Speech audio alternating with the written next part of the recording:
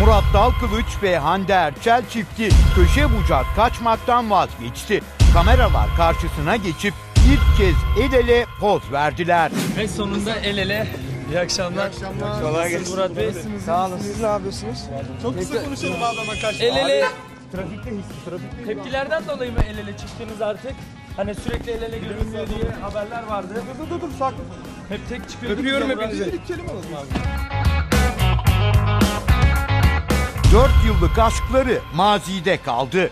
Düğün tarihleri beklenirken Selin Şekerci ve Kaan Taşaner'den ayrılık haberi geldi.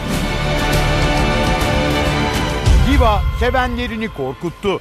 Apar topar hastaneye kaldırılan Bülent Ersoy ağır grip teşhisiyle tedavi altına alındı.